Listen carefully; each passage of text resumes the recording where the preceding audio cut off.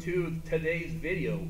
Why some platforms thrive and others don't. This is a review and analysis of a 2019 Harvard article published in the Harvard Business Review by two distinguished Harvard professors in the strategy section.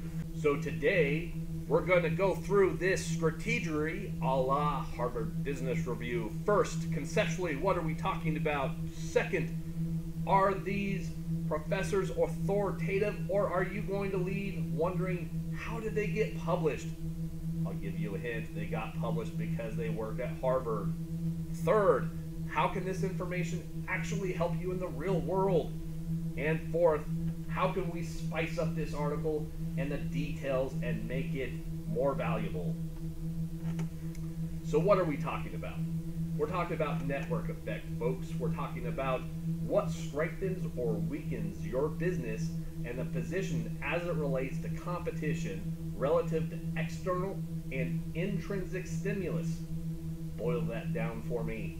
It means how do you make your company stronger? How do you build a network that helps you grow? How do you not lose in business? Well, simply, you understand and embrace and adapt to the effects of the network effect. This is paramount, especially in the digital world and across digital platforms. There's five main points made in this article about the strength of network effect, network clustering, risk of disintermediation, vulnerability to multi-homing, and network bridging. All five of these topics are elaborated in length in the article and with specific examples. So, are these Harvard professors genius or moronic? Well, in 2019, the Harvard Business Review decided to publish this article. Both of the authors are distinguished Harvard Business School MBA professors with focuses in technology and operations management.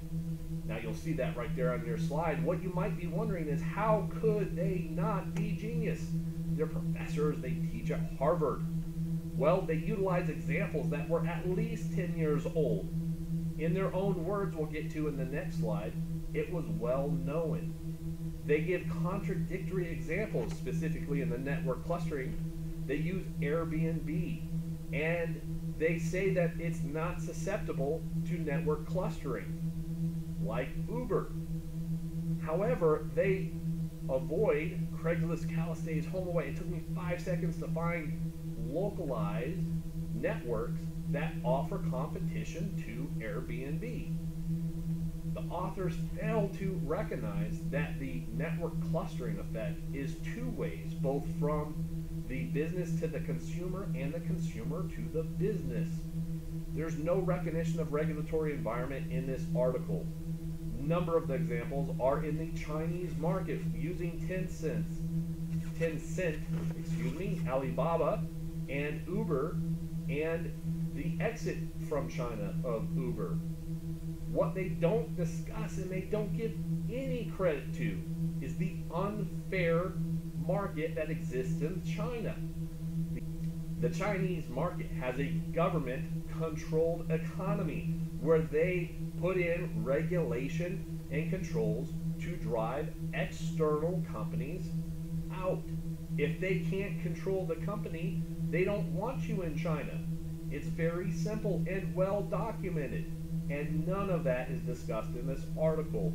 The authors give all the credit for the successes and failures in China to network effect and not the real world. The article also lacks posits.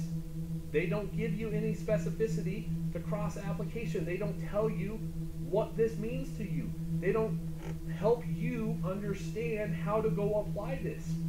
It's simply a regurgitation of well known and well documented examples of digital platforms that have succeeded. I don't think this article is genius. I certainly don't think it's moronic.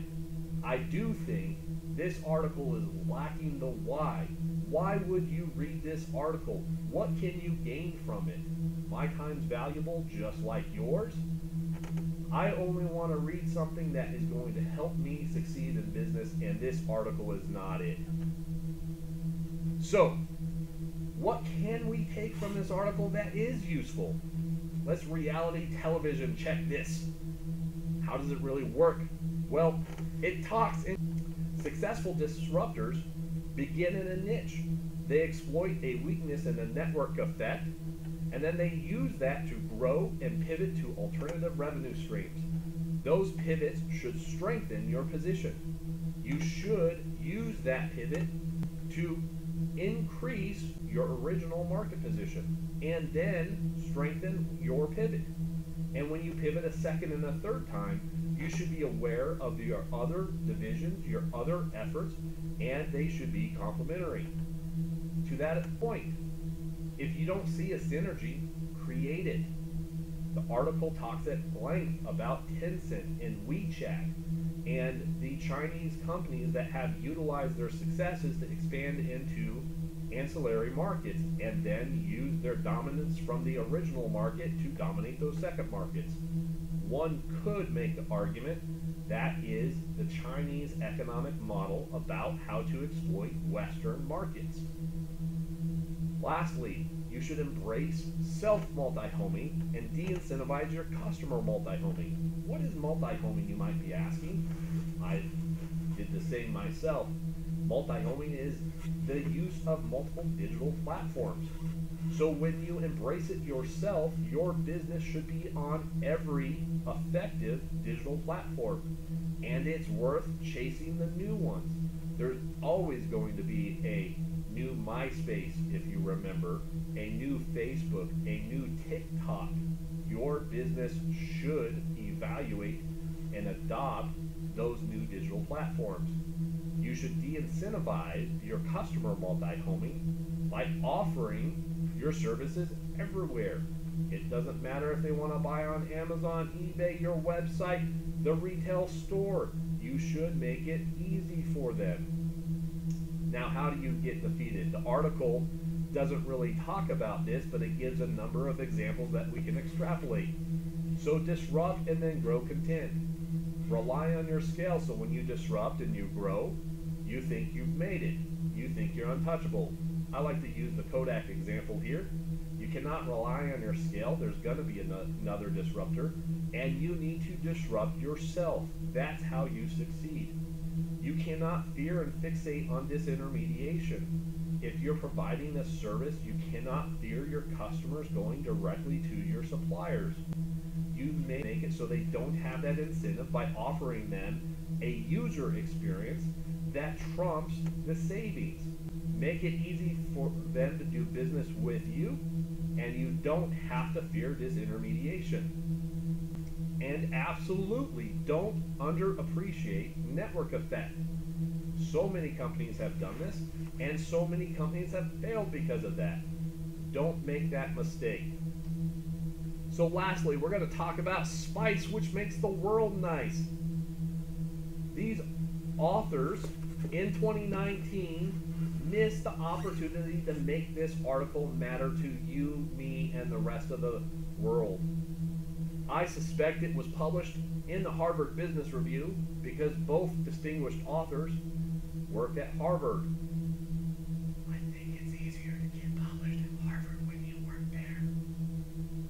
Even for 2019, the authors recognized in the article, quote, the importance of network effects is well known. This article offers you no subject or content that isn't well known and well documented. It is a regurgitation of what is well known and well documented.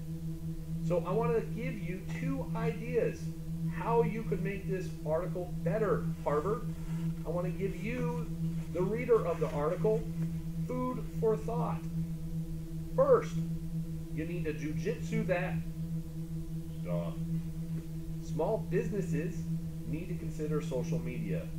This article, to me, spoke to the plight of small businesses, and in particular, those small businesses that don't embrace the digital trend and don't understand network effect and how to grow your business.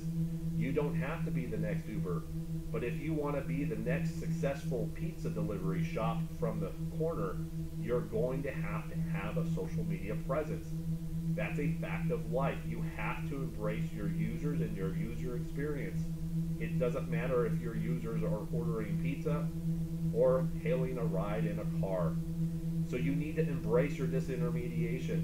You need to recognize that and you need to find a way to be the disruptor to create the disintermediation between a market inhabitant and yourself.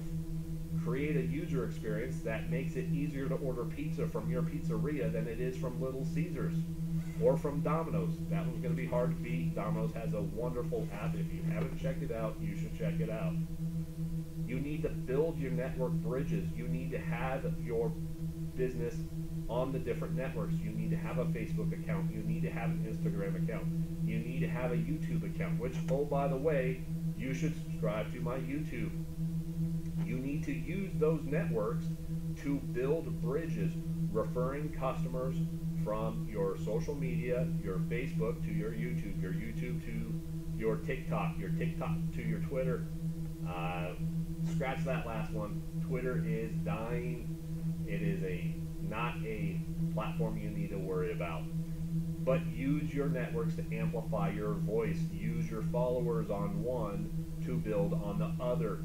Use those presences on those digital platforms to drive business to your website or to your store or to your pizzeria. That's what I mean by build your network effect or that's what I mean by building your network bridges. And lastly, use that network effect to drive your scale. As your networks grow, you'll scale your business. Don't rely on scale to drive your network effect. It's never too early to get your social media and your digital platforms amplifying your presence in your market. That's something the authors could have talked to you about. They chose not to. The authors could have addressed alternative industries in their article. They chose not to. They used well known and well documented, well researched, and well reported examples of digital platforms. The question is not about the things that everyone already knows and has read everywhere for the last 20 years. The question is why does that matter to me today?